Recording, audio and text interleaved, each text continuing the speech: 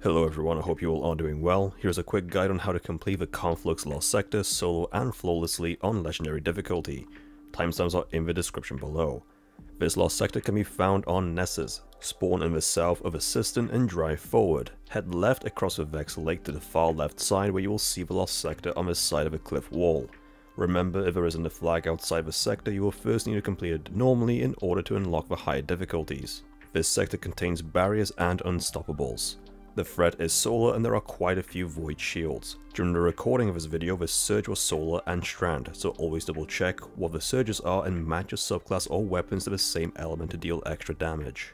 Moving on to loadouts. For this I'm using my Warlock Strand for ad clear and Shackle Grenades for the champs. I am combining it with Necrotic Grips to spread poison among the ads. For weapons I ran Arbalest for stunning barriers as well as a Void Scout for stunning unstoppables and for Void Shields. Finally, I had a Solar Linear to make the most of the surge. Now onto mods starting with the class item. Run any of the mods that help reduce your ability cooldowns when using different abilities. You could also run the mods Proximity Ward and Healthy Finisher to get your health back along with an overshield when performing a finisher. For leg armor you can run mods that help with your ability regen when picking up Orbs of Power. You could also run Scavenger mods to pick up additional ammunition when picking up ammo bricks. On your chest armor, I suggest running a solar resist since incoming solar damage is increased by 25%. Also run a concussive dampener to help reduce incoming damage from solar grenades and the boss's explosive attack. For gauntlets, yet again run any mods that boost your ability regen when picking up orbs of power. Finally for the helmet I suggest you have a heavy ammo finder mod on along with some ashes to assets to get your super back on grenade kills. This is what I used, so either copy it or use it as a template to make your own. You do not need the same weapons, armor or subclasses or even mods as me to complete this lost sector. With that out of the way, let's get straight into it. Once you spawn in, stay to the back of the spawn and clear out the enemies to your left. Then move forward just enough to trigger the unstoppable to run at you.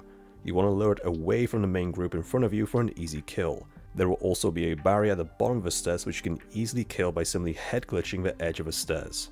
Once you clear out the ads around you, push up to the far left wall until you get to this location. This is the boss area. All the ads will be spawning to your right with a couple of snipers spawning on the ledge to your left. Just stay in this location sniping at all the ads.